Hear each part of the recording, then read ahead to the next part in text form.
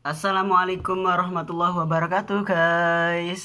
Kali ini saya ada satu tumpukan ini guys. Tumpukan kertas. Ini kertasnya ukuran A5 guys. Ini kertasnya itu uh, Berurutannya itu 5 lembar, 5 lembar, 5 lembar, 5 lembar gitu loh guys.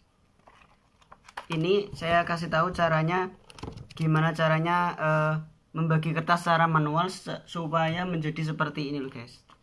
Aslinya tipis gini ini skandal ini gini. Kita bagi menjadi 5 gitu guys. Oke. Yang perlu digunakan yaitu alat alat serbaguna ini guys untuk para fotokopi. Kita ambil sekitar segini guys. Berapa senti ini ya? Sekitar eh, 5 sentian lah guys kita bulat putar-putarkan kayak gini di kertas ini di jari telunjuk ini oke okay. setelah itu yang depan ini bagian depan ini kan depan ini depan kita balik gini guys oke okay. setelah itu kita setelah kita balik kayak gini guys kita ambil sedikit-sedikit guys gini ini karena ini lima lembar guys satu dua tiga empat lima. Ini lima lembar guys ya. Satu dua tiga empat lima. Oke.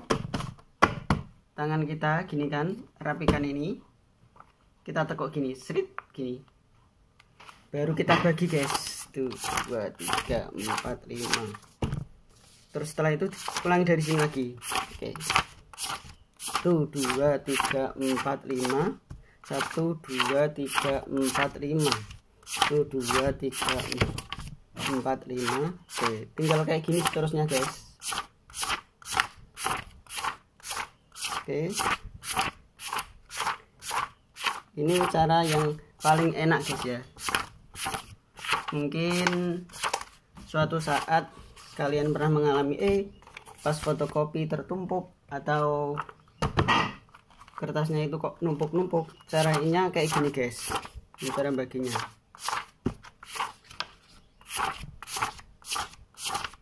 Oke. Jangan lupa sambil dicek ya guys. Sambil dicek.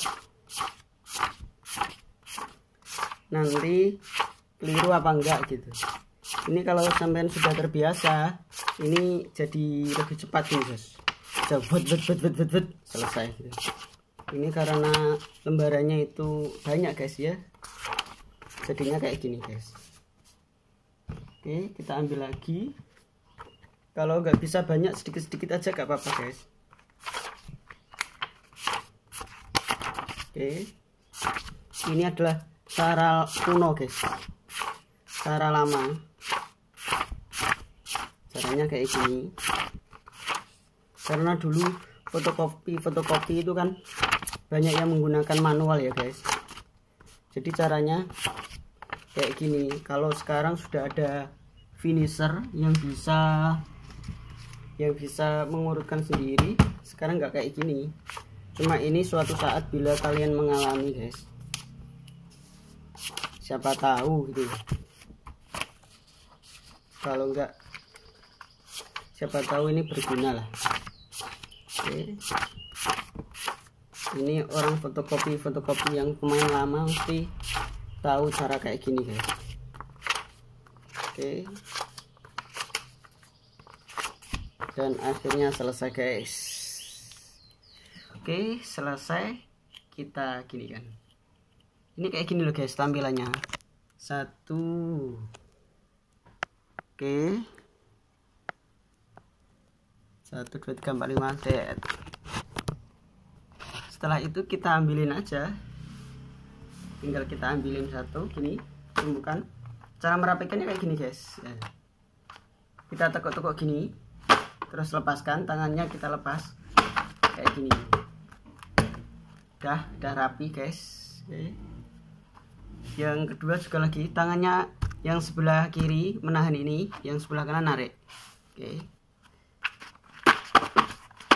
Gini tak lah gini oke langsung rapi guys. Yang ketiga tahannya ini kita tarik yang kanan. Oke.